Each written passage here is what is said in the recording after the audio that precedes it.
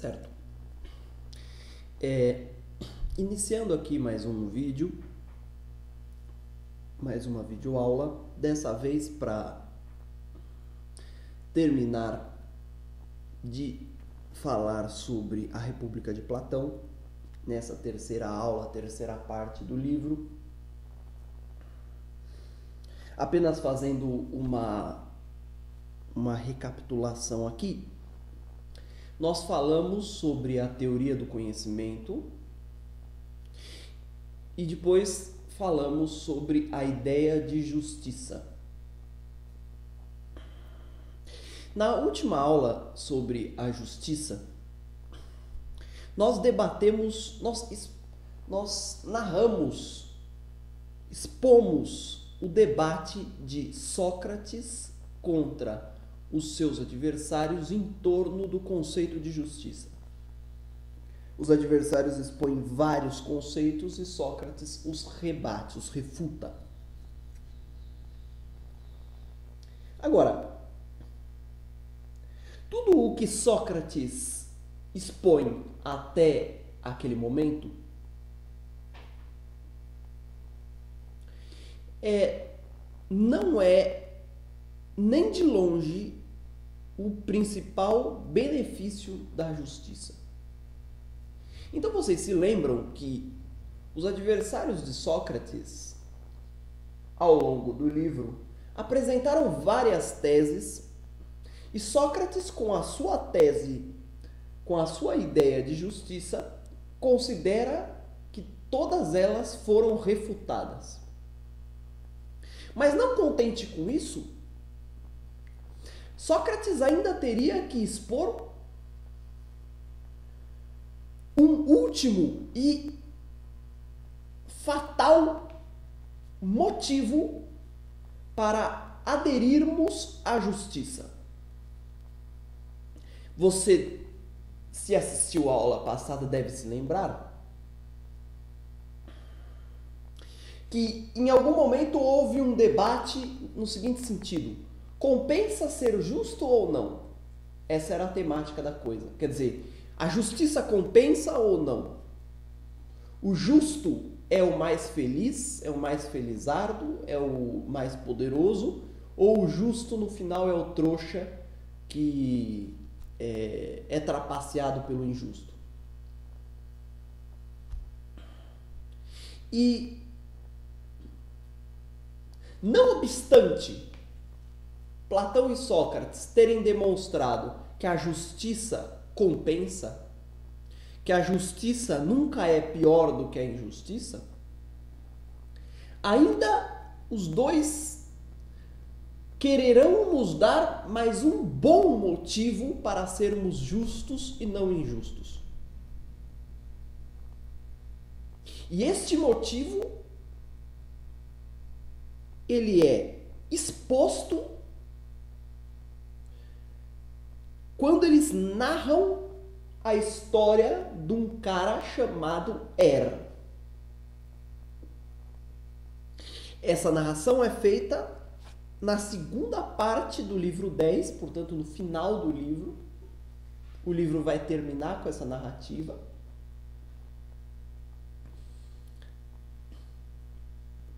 E ela é o tema da aula que nós estamos iniciando. Então, para te dar uma ideia geral, o que é a história ou o mito de Er?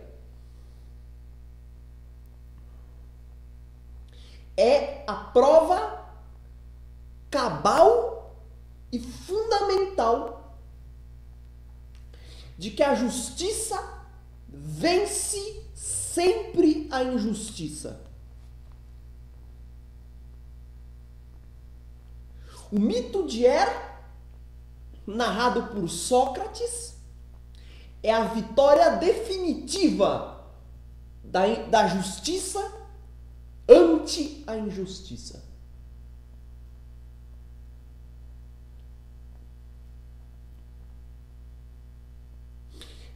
É a resposta final sobre a pergunta: compensa ser injusto? Não obstante todos os argumentos dados por Sócrates, Sócrates vai expor esse último argumento. A justiça sempre é melhor do que a injustiça.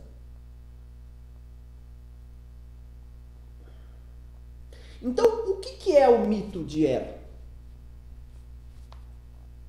O mito de Er é a história de um cara que morreu, passou 12 dias morto, conheceu o pós-morte e voltou para contar. Isso é o mito de Er. Então, o argumento de Sócrates aqui é que a justiça compensa não só, pelo, não só pela vida que eu levo como justo, mas também pelo que vai me acontecer depois da morte. A vida do injusto depois da morte é muito ruim.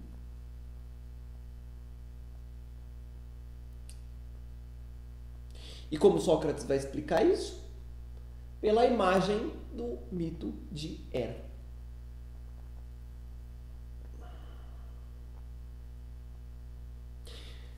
Então, como que é a história? A história é a seguinte: venham comigo. Er era um guerreiro que, no meio de uma batalha, foi morto. Foi atingido por qualquer coisa lá e foi morto. Morto em batalha. O corpo dele, junto com os outros corpos dos mortos, estava caído lá. E você sabe que na Grécia antiga mais grave do que a morte era não ser sepultado depois da morte. Então os gregos tinham uma grande preocupação com sepultar o morto. Né? Só para vocês terem uma ideia disso, Sócrates chega num ponto a contar, aliás, não, não me lembro se foi Sócrates, mas enfim, alguém conta em algum ponto que eu não me lembro qual foi, eu acho que foi Sócrates, em algum lugar dos seus escritos, que houve uma vez que um general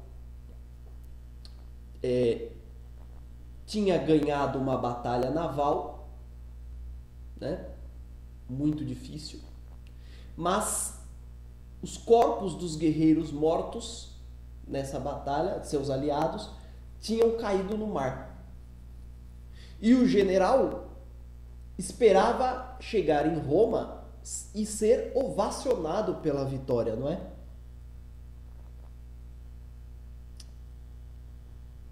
Mas os, os conterrâneos dele, ao saberem que ele tinha deixado o corpo dos mortos no mar, quase que o expulsaram da cidade. A vitória numa batalha não tem tanta importância se isso custa a falta de sepultura dos mortos. Mas enfim, isso é tema para outra aula. O fato é que é era esse fulano que tinha morrido em batalha. E na Grécia era importantíssimo sepultar os mortos. Então, algumas pessoas do exército grego estavam recolhendo os corpos dos mortos para dar a eles sepultura, para levá-los à cidade.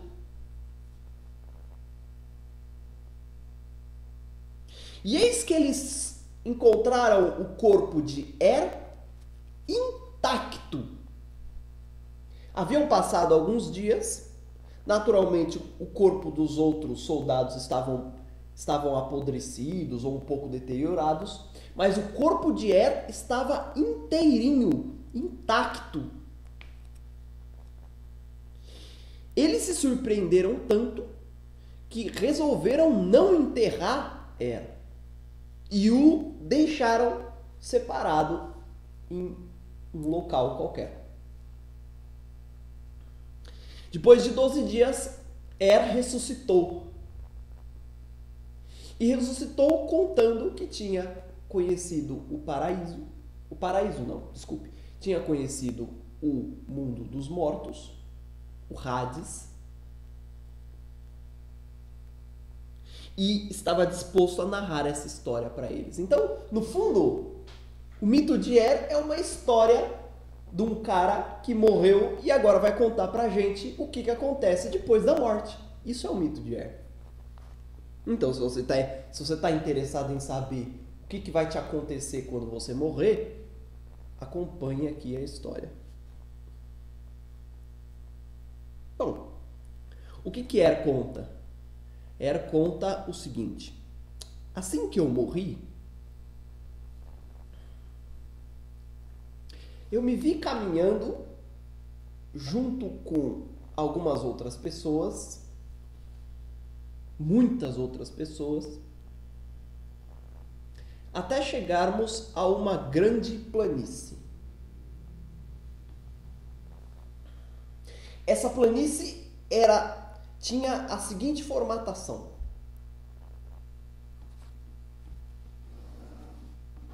Essa planície tinha a seguinte formatação. Ela era um campo aberto.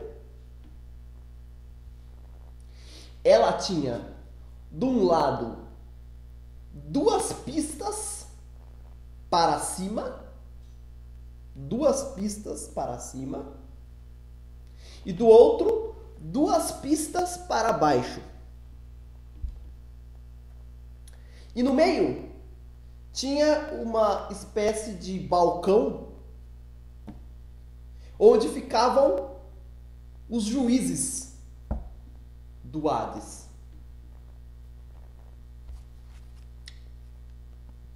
Bom, o que, que acontecia ali? O que, que acontecia era o seguinte: a pista que subia levava ao céu, a pista que descia levava ao Tártaro.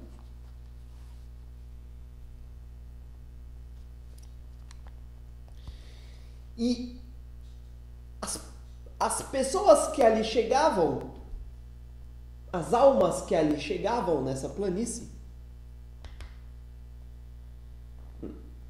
pegavam uma senha, sentavam na cadeirinha, mais ou menos como a gente faz lá no Poupa Tempo e esperavam sua vez. Eu não sei se ali era mais rápido do que o poupa-tempo. É, provavelmente sim. Mas quando chegava a vez da pessoa, do fulano, ele se levantava, ficava em frente dos juízes, e os juízes iriam avaliar se ele tinha sido justo ou injusto justo ou injusto. Se justo, ele era convidado a entrar no céu. Se injusto, ele era convidado a entrar no Tártaro. O curioso é que vocês se lembram que eu disse que haviam duas pistas levando ao alto e duas pistas levando para baixo, levando para o Tártaro. Por que duas de cada lado? Porque se numa pista subiam ou desciam, né, as almas que estavam indo para o céu ou indo para o Tártaro, numa outra pista voltavam as almas do céu e do Tártaro. De modo que as pessoas não ficavam para sempre no céu ou no Tártaro. Elas iam e voltavam. E todas elas, as pessoas que estavam indo, que estavam voltando, que estavam chegando, todas elas se encontravam nessa planície. E, e, assim era, as pessoas iam sendo julgadas, iam sendo encaminhadas, julgadas e encaminhadas.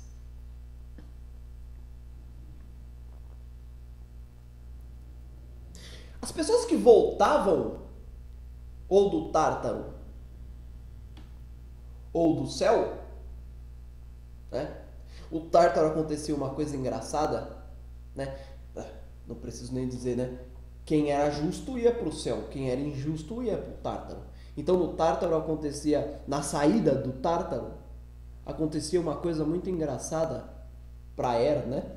Que, eh, que era a seguinte: as pessoas iam saindo, iam subindo a rampa, voltando do Tártaro, mas só poderiam sair aquelas, só poderiam sair do Tártaro aquelas que já tinham cumprido sua pena.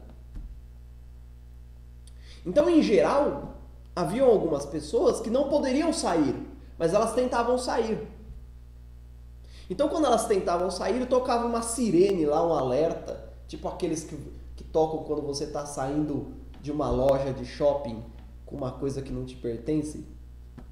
Tocava uma sirene e vinha um bufão lá para te pegar, um, um, um monstro pegando fogo lá, te pegava e te conduzia de volta, te amarrava, te dava uma surra, tá certo? E te levava de volta ao Tártaro. Te levava de volta ao Tártaro. É legal que Er constata que a maioria desses que eram conduzidos de volta ao Tártaro eram os que tinham sido tiranos, eram os tiranos da que viveram como tiranos, não é? Mas enfim, curiosidade apenas. O fato é que as pessoas que voltavam do céu e as pessoas que voltavam do Tártaro acampavam nessa planície para se recuperar da viagem e ficavam nessa planície uns é, alguns dias contando o que tinham visto no céu e o que tinham visto no Tártaro.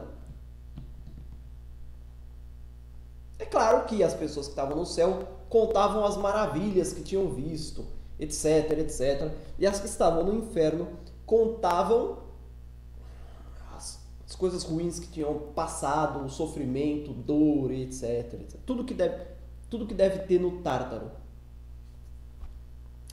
Aliás, eu acho que eu cometi um engano. Eu falei inferno. Substitui inferno por Tártaro, hein? A ideia de inferno aqui é absolutamente despropositada. O inferno vem depois. O inferno é coisa do cristianismo. Aqui nós estamos em Platão, certo? Então, me retificando aqui. Pois bem.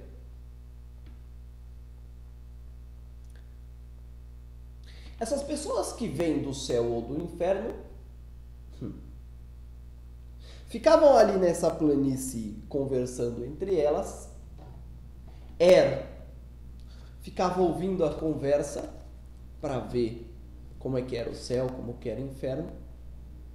Mas elas não poderiam ficar ali para sempre. Então, em um dado momento, elas deveriam continuar a viagem delas e tinham que se dirigir até uma luz que havia no horizonte. E assim elas o faziam.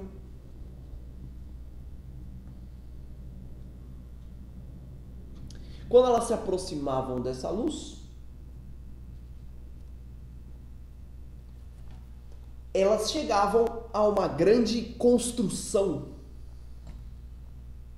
Elas chegavam a uma espécie de, digamos, de motor do mundo. Elas chegavam a uma grandiosa, uma grandiosa máquina, uma espécie de primeiro motor do cosmos.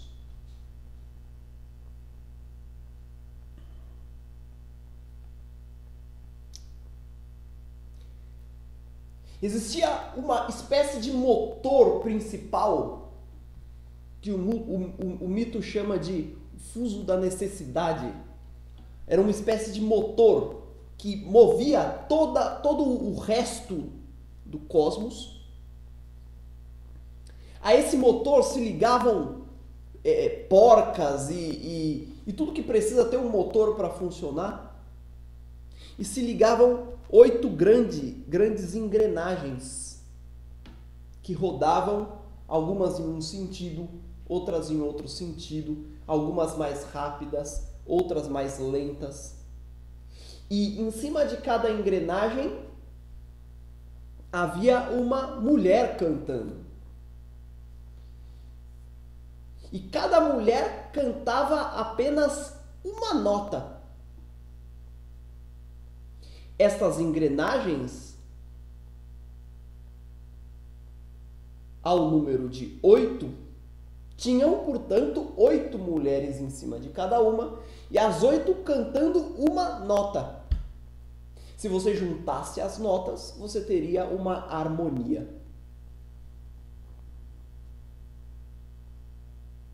Dó, Ré, Mi, Fá, Sol, Lá, Si, Dó. Tá?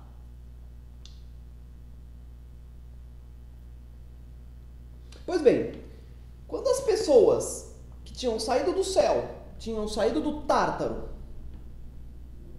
chegaram a esse grande, essa grande construção,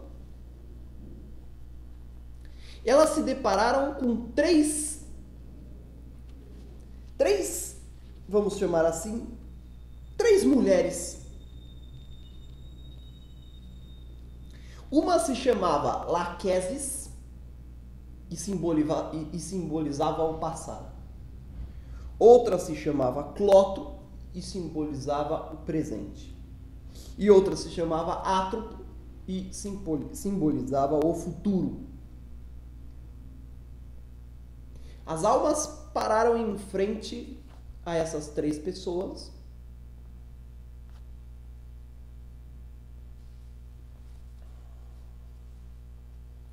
Surge um sacerdote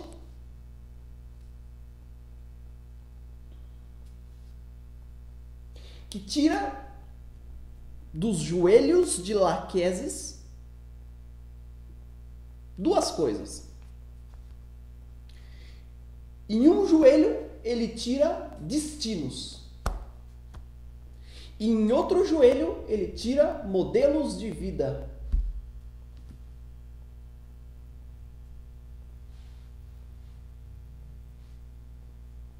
E diz: Abre aspas. Declaração da Virgem Laqueses, filha da necessidade.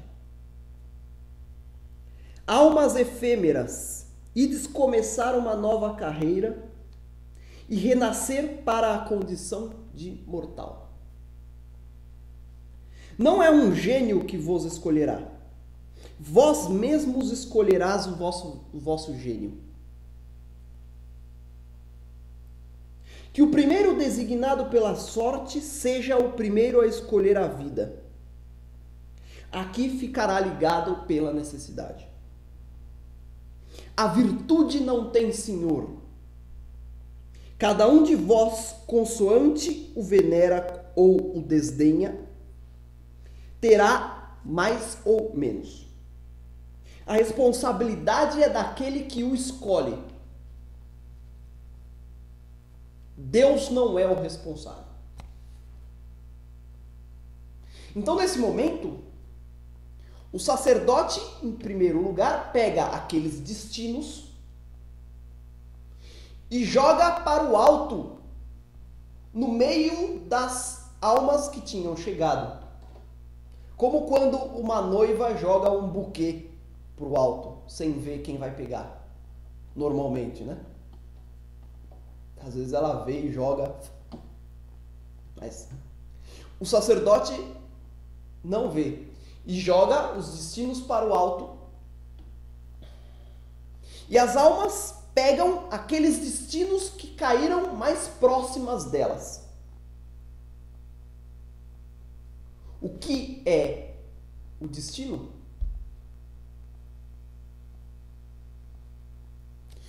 Os destinos são a formatação da alma. são as aptidões da alma. Quer dizer, nesse momento, o que está sendo decidido é qual é a posição que eu vou ocupar durante a vida. Eu vou ser daqueles que pensam melhor? Eu vou ser daqueles que lutam melhor? Qual é a formatação que a minha alma vai ter? Qual é a aptidão que a minha alma vai ter? Isso é o que estava sendo escolhido nesse momento. Escolhido entre aspas, né? Escolhido pela sorte, pelo acaso.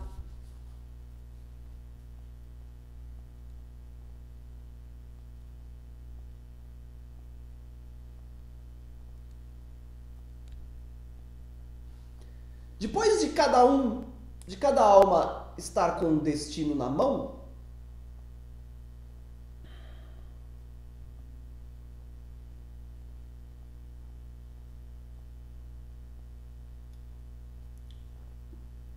o sacerdote, junto com Laqueses, pede para que as almas formem uma fila. Então, ele expõe os modelos de vida um ao lado do outro,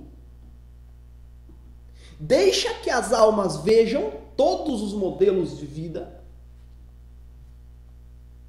modelos de vida. O tirano, o herói, etc. Existiam vários modelos, existiam modelos de vida de animais,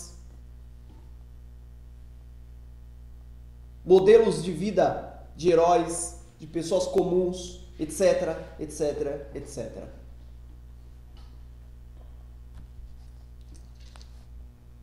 O sacerdote coloca todos um ao lado do outro. Todas as formas possíveis de vida, um ao lado do outro. Deixa que essas almas olhem e forma uma fila. E aí ele Agora vocês vão escolher o modelo de vida que vocês querem.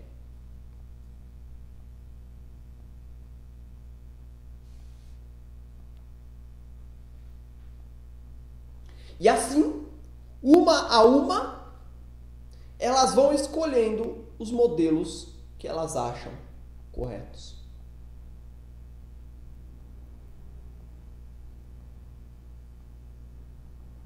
Aqueles modelos que já tinham sido escolhidos não poderiam mais ser escolhidos. Então, se eu escolhi o modelo X, a, próxima alma, a alma que estava atrás de mim, não poderia escolher. De modo que as almas que ficaram para o fim iam escolher os modelos de vida que tinham sobrado.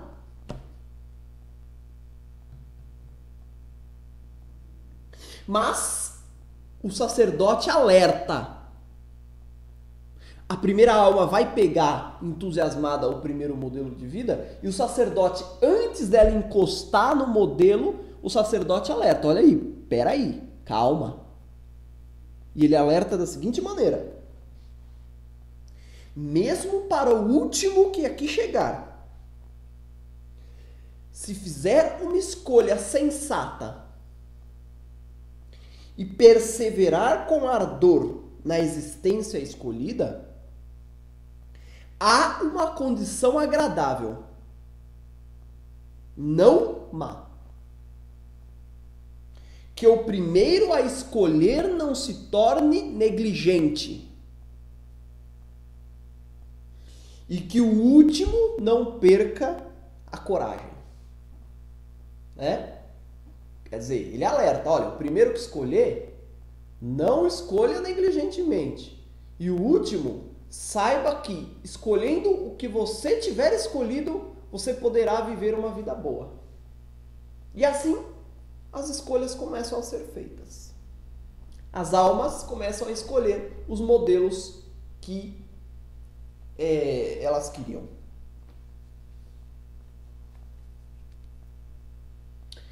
E o que, que começou a acontecer? Começou a acontecer o seguinte: duas tendências. Primeiro, Primeira tendência. As almas que estavam no céu, em geral, escolhiam mal. Por quê? Porque não tinham conhecido o sofrimento do tártaro. Então, elas conheciam, elas escolhiam mal. Já as almas que tinham estado no Tártaro escolhiam com mais cuidado, porque não queriam voltar para lá. Então havia uma tendência a aqueles que tinham estado no céu escolherem destinos que os conduziriam na próxima vida a, ao Tártaro. E vice-versa. Essa é a primeira tendência que se observava. E a segunda tendência, conforme as pessoas foram escolhendo, é que as pessoas não escolhiam segundo o bem e segundo a justiça. As pessoas escolhiam segundo critérios de experiências particulares que tinham tido em vida. Então, por exemplo, em geral, aqueles aqueles artistas famosos durante a vida, eles não, eles não escolhiam segundo critérios universais de bondade, de justiça. Eles escolhiam o quê? Eles escolhiam assim: ah, eu fui um artista durante a vida inteira, não aguentava mais gente me pedindo autógrafo, gente me bajulando, eu vou escolher uma vida de, de, de uma pessoa comum. Pum, e escolhia lá a vida de um camponês qualquer.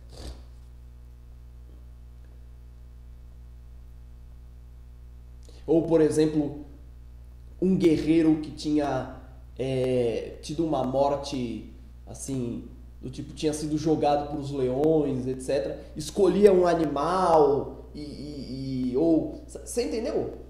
O fato é que as pessoas escolhiam segundo critérios ou escolhiam assim.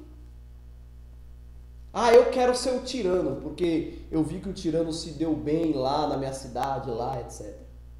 Percebeu? Em geral, as pessoas escolhiam segundo critérios de experiências particulares que tinham tido em vida e não de uma ideia absoluta de bondade, de justiça. E por que não escolhiam segundo essa ideia? Porque não sabiam, não tinham conhecido isso. Então você percebe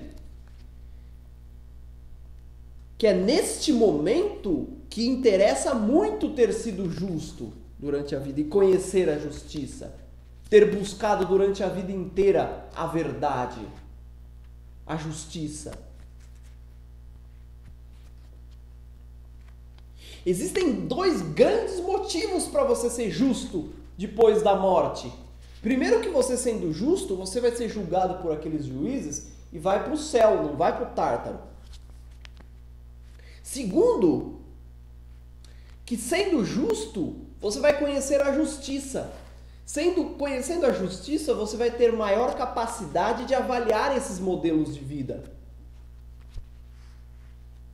Porque muitas vezes o modelo de vida que a gente acha ideal, quando a gente experimenta, não é. É aquela velha história: a grama do vizinho é sempre mais bonita. Então, você olha um modelo de vida e você fala: Nossa, se eu fosse tal coisa ia ser tão legal. É, só que você só vê a parte ruim. Às vezes as pessoas falam assim: Nossa, se eu fosse jogador de futebol ia ser tão legal, ia ser famoso, etc. É.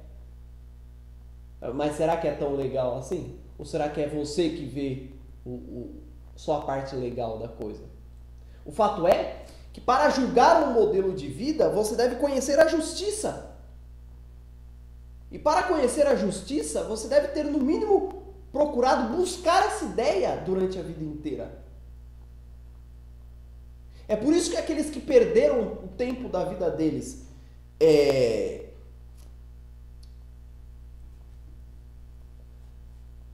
em prazeres que nunca vão levar à justiça,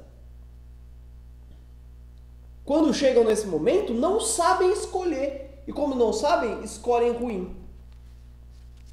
Então, o que, que acabava acontecendo? Acaba acontecendo uma espécie de ciclo. De ciclo de vida e morte. E o ciclo era o seguinte: eu escolhi bem um modelo de vida. Por quê? Porque estava no tártaro me fudendo e vi o sofrimento e não quero repeti-lo. Então, vivo bem. Vivo bem, é, vou para o céu. Vou para o céu, é, não conheço o sofrimento. Então, escolho mal. Escolho mal, Vivo mal, vivo mal, vou para o tártaro. Vou para o tártaro, conheço o sofrimento, então escolho bem. E as pessoas ficam presas nesse ciclo enquanto não conhecem a ideia de justiça, a ideia de bondade. É para é quebrar essa lógica natural que você deve passar sua vida estudando, procurando a verdade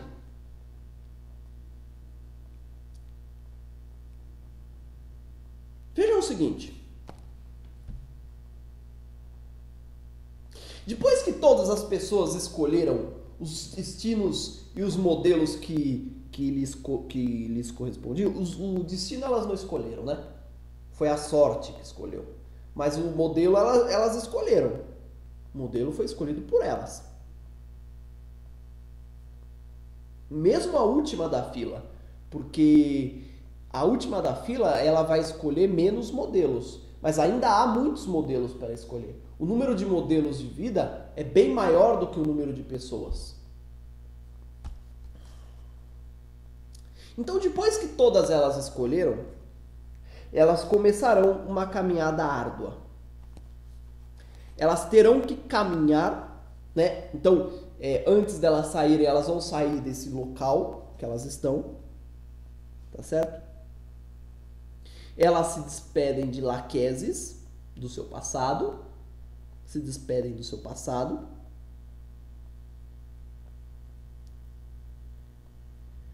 Elas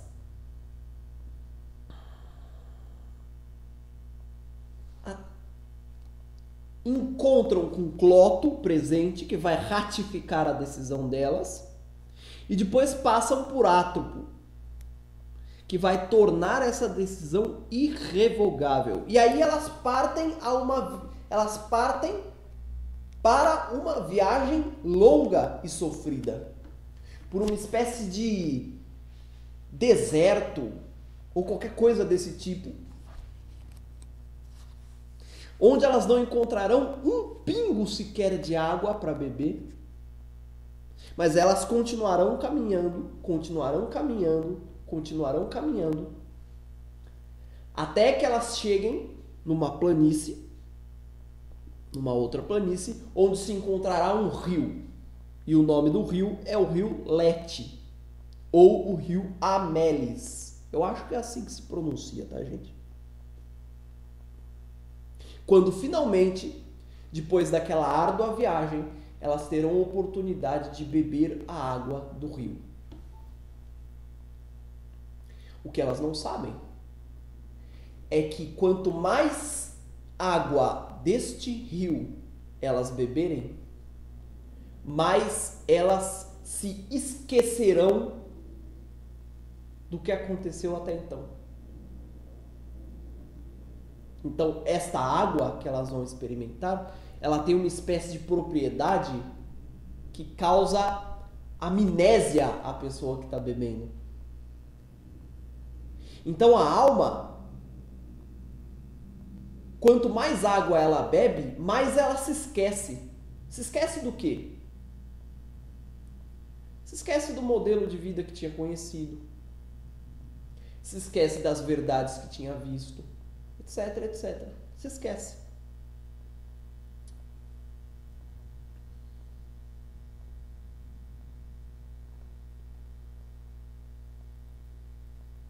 Hum.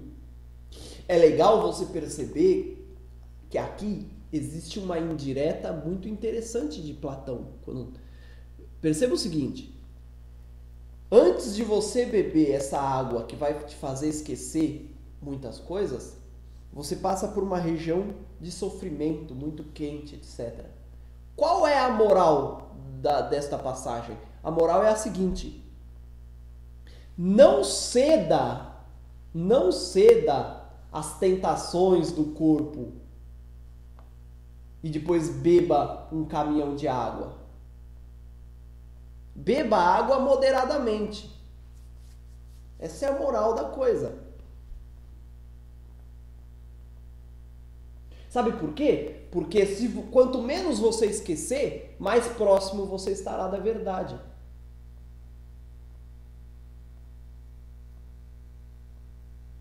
Então, no fundo, as pessoas que as pessoas mais próximas da verdade hoje são aquelas que beberam menos água no Letes.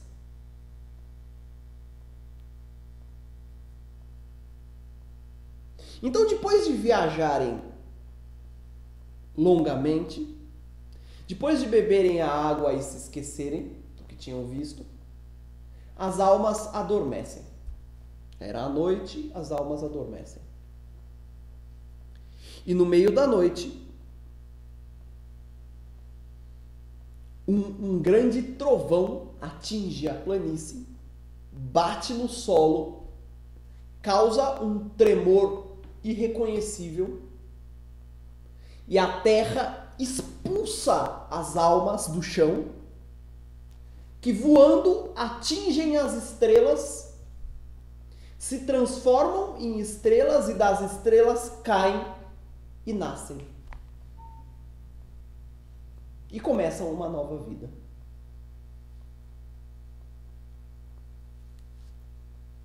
E começam uma nova vida e assim termina a história. É claro que você vai dizer assim: bom, mas e Era? Como é que Era não esqueceu de nada? É que Era estava lá para contar isso aos mortais. Era tinha sido uma espécie de convidado dos deuses, né? Para contar isso aos mortais. Então ele iria visitar o Hades e iria voltar à vida, lembrando de tudo, para contar isso aos mortais.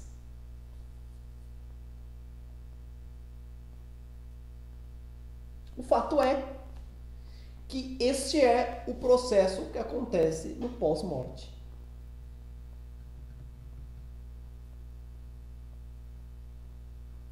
Certo? Esse é o mito de Hera. Então, a partir dele, vamos a algumas constatações aqui. Primeira constatação que nós percebemos é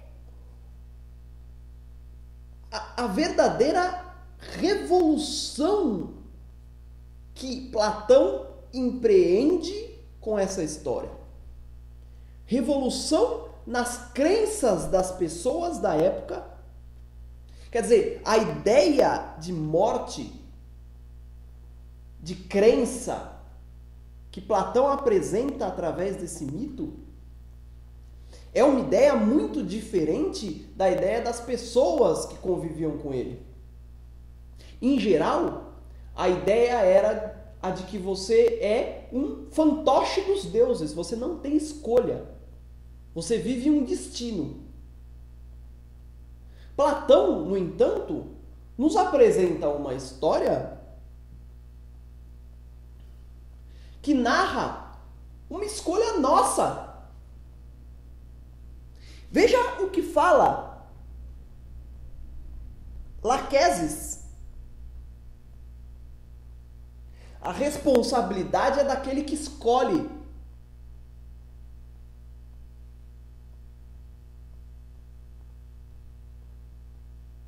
Então aqui você tem um elemento que é um elemento de liberdade muito forte. Você escolhe o modelo de vida que você quer, não são os deuses que escolhem para você. Percebeu? Esse é um primeiro, um primeiro elemento muito interessante. Ligado a esse elemento, o que, que você percebe? Você percebe que quando você escolhe o seu modelo de vida, você escolhe segundo um critério. Qual? A justiça. A justiça. Como nós já falamos, a importância de conhecer a justiça e a bondade e o bem, a ideia de bem. Porque é isto que vai te permitir escolher com algum critério o modelo de vida quando você estiver lá escolhendo no, no, no Hades.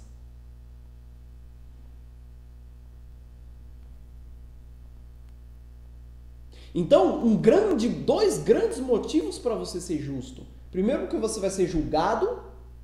Isso é outro ponto interessante do mito. Existe um, um julgamento no pós-morte. Não é assim, ah, eu me dou bem na vida, tudo bem. Mas depois você vai ser julgado depois que morrer. E como você vai fazer? A justiça dos homens falha, mas a justiça dos deuses não falha.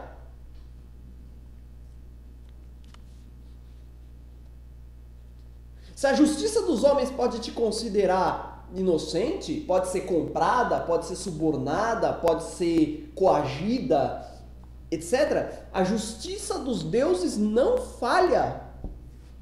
Não existe advogado aqui para te ajudar. É você com você. É você com as suas ações. Agora, é importante você perceber o quão fundamental é o dedicar a sua vida ao conhecimento da verdade, do justo, do, do bem. Para que te permita não só viver uma vida justa, como também poder escolher ali melhor. Certo? Esse é um ponto interessante do, do da história de Era.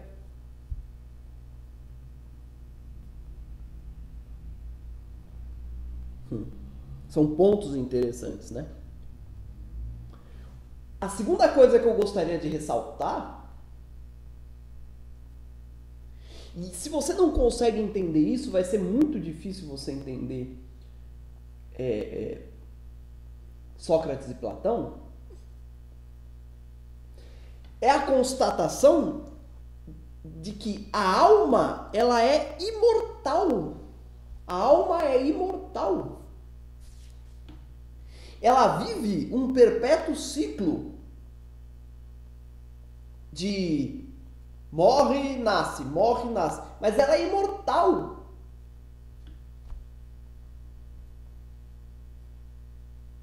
Platão, inclusive, Sócrates, inclusive, em um determinado momento, demo, demonstra a imortalidade da alma. Ele está debatendo com qualquer um lá e aí ele fala o seguinte: olha, agora eu vou, eu vou provar para vocês que a alma é imortal. E a prova dele é sensacional. Ele vira pro cara e fala assim: olha, você quer saber se a alma é imortal ou não? Então é o seguinte: tudo que é bom, diz ele, tudo que é bom é,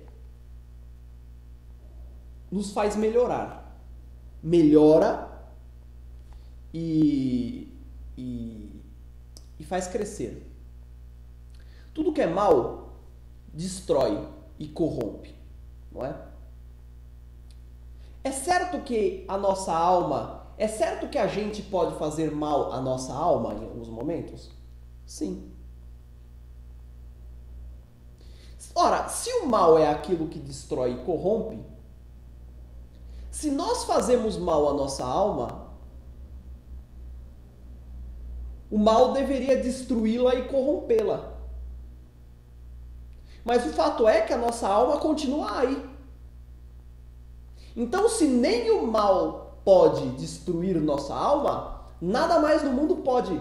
Portanto, ela é imortal essa demonstração dele. A alma é imortal.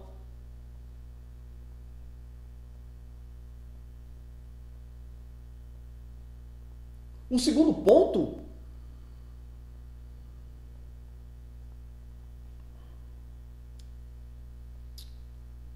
é o que Sócrates e Platão vão chamar de conhece, vão, vão, vão chamar de conhece-te a ti mesmo. Você perceba que o conhecimento, a busca pela verdade, ela não serve para que você descubra coisas. Ela serve para que você relembre de coisas. Lembre-se, nós escolhemos um modelo de vida, mas nós tomamos a água e nos esquecemos. O conhecimento é uma questão de relembrar e não uma questão de, de, de descobrir.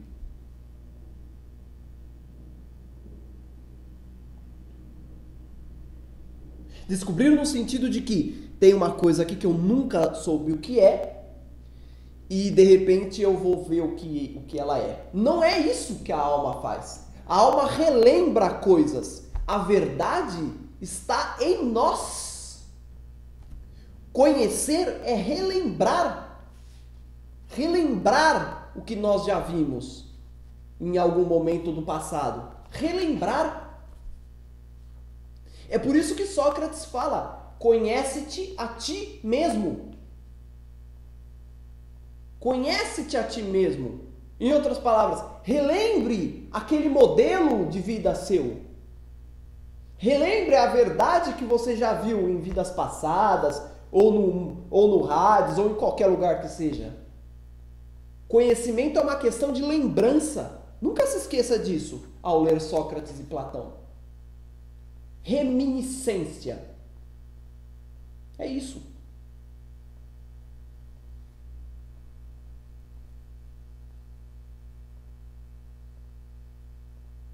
É isso.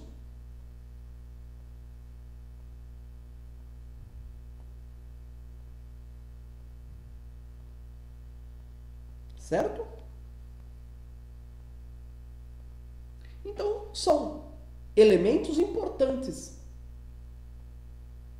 Mas o fundamental aqui é perceber como que o mito de Hera serve como uma justificativa para Platão, de uma vez por todas, demonstrar a superioridade da justiça em relação à injustiça.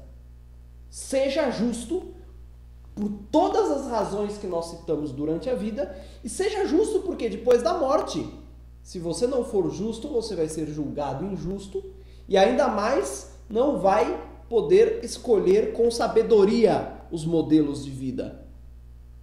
E aí vai viver mal.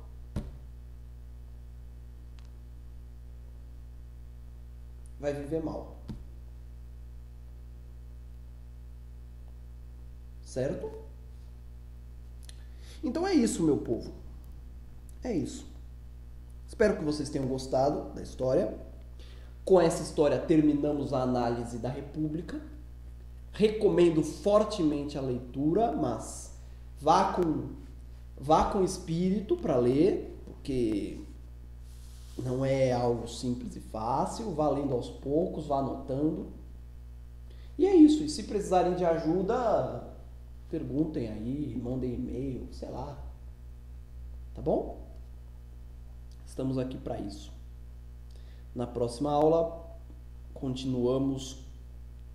Provavelmente a próxima aula ainda será Platão mas provavelmente vamos analisar o banquete de Platão. Vamos ver como que acontece aí, tá bom?